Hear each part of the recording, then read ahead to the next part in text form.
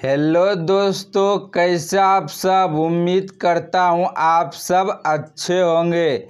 आज की इस वीडियो में आपको बताने वाला हूँ वॉइस स्क्रीन लॉक एप्लीकेशन के बारे में। इस एप्लीकेशन की मदद से अपने मोबाइल फ़ोन में वॉइस लॉक लगा सकते हैं।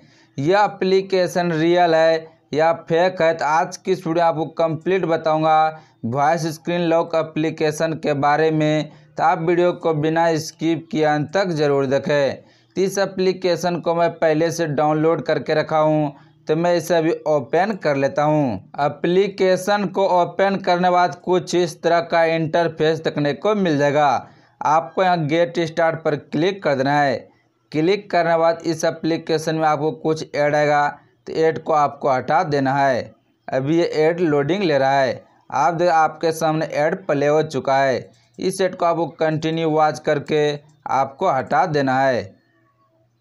उसके बाद ये एप्लीकेशन कुछ इस तरह से ओपन हो जाएगा। सिंपली आपको स्टार्ट पर क्लिक कर देना है। स्टार्ट पर क्लिक कर आपको यहाँ से कुछ परमिशन मांगा जाएगा। तो इसमें आपको सबको अलाउ कर देना है। अलाउ करने बाद इसमें आपको फिर से कुछ ऐड आएगा। यदि आपके सामने ऐड शो हो चुका है, इस सेट को आपको कंटिन्यू वॉच करके आपको इस सेट को हटा देना है। उसके बाद ये एप्लीकेशन कुछ इस तरह से ओपन हो जाएगा। आप ऊपर के साइड में यहाँ से डेट और टाइम देख सकते हैं। वॉइस लॉक लगाने के लिए आपको सिंपली इस माइक पर क्लिक करके आप जो भी पासपोर्ट बोलना चाहते आप बोल सकते हैं। तो वॉइस लॉक लगाने के लिए इस माइक पर आपको टैप टैप करना आप जो भी पासवर्ड लगाना चाहते हैं, आप यहाँ से बोल सकते हैं। लेकिन दोस्तों, मैं आपको बता दूँ, यह एप्लीकेशन फेक एप्लीकेशन है। इसमें आप जो भी बोलकर पासवर्ड यूज़ करेंगे, वो आपको लॉक नहीं लगेगा।